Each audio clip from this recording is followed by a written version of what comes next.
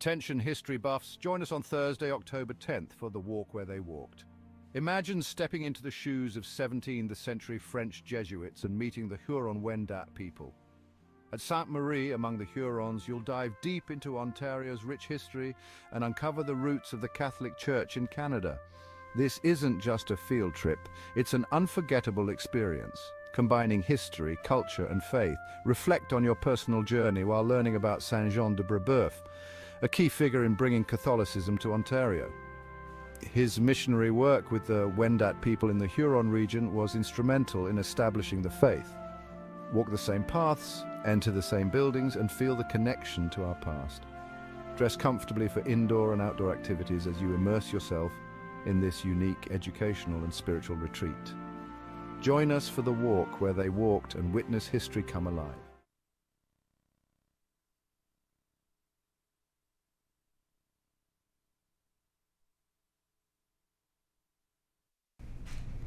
Good morning, STM, and in particular, art students, or simply those who love art and want to share their talents. We have some amazing and exciting news for you.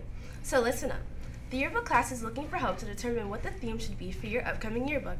If you're interested, we are having a front and back cover contest. Simply create a front and back of yearbook. Please note that students must create a 9 by 12 page cover of their desired theme. The first prize winner will win a $100 gift card from Amazon, Limeridge Mall, or Mapleview Mall. Second prize, a $50 gift card from Tim Hortons or Starbucks, a $25 Pizza Nova, Subway, Popeyes, or Paradise Subs card for third prize. And of course, our selected winner will have their cover featured in the yearbook.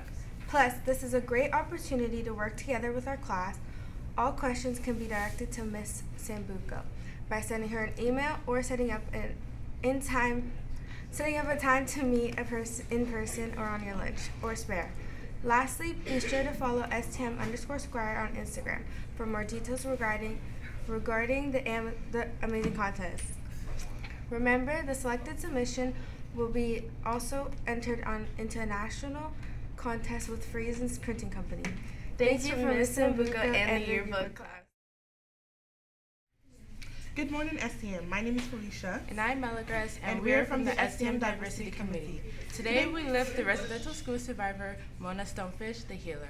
As a seven year old, she was taken from her family and spent several years at the Mohawk Institute Residential School in Brantford, Ontario, where she risked physical violence standing up, up, standing up to her oppressors.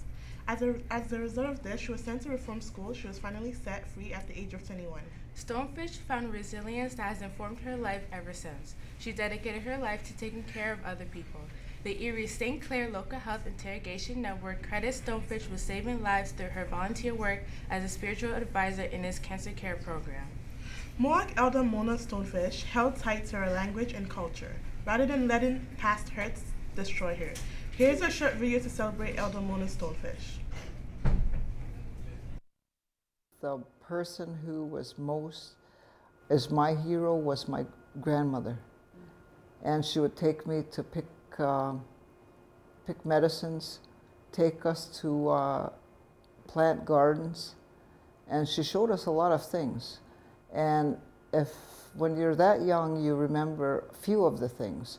So she would take five or six of us, so everybody would remember something. And the thing that she instilled in me most was to hold on tight to what is really ours, and that's the language and the culture. And she said, if you have that, my girl, nobody can stop you. You will go and go and open doors. And if they don't, if they don't open them, uh, go knock on another door. And that's what I've done. And that comes from my grandmother.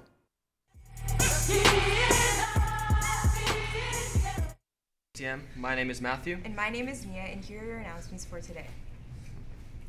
Breakfast Club runs in the cafeteria on Mondays, Wednesdays, and Fridays from 7:40 a.m. to 8 a.m. Stop by and grab some breakfast or snacks. With free fruit, muffins, and eggs, you'll be sure to start your day off right. Attention all cross-country team members. There will be a brief but important meeting after school today in the gym. There will be a diversity meeting today after school in the library. New members are welcome. Looking to get more involved in our school? Check out the club fair in the forum on Friday on your lunch period, where many clubs and activities will be showcased. Get involved, STM. Brought to you by your STM prefects. Thanks, Thanks, STM. STM. Good morning, STM. I'm Sanaya, your grade 12 rep. I'm Nina, your junior athletic rep. And I'm Elisa, your senior athletic rep, rep, and we're here for your student council announcement.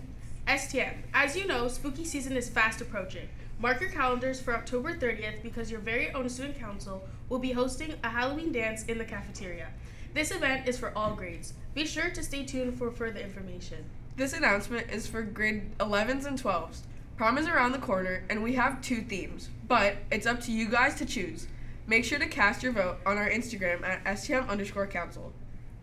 Remember that on Tuesdays and Thursdays, you can pick up your spirit wear for your first 30 minutes on, of your lunch period at the student council office. That's all for your student council announcements. Remember to follow us on our Instagram at STM underscore council for the latest and greatest updates and everything council related. Thank you, STM, and have a terrific Tuesday. STM, those are all of your announcements for today. The time is now 8:21, And remember, it's a great day to be a knight.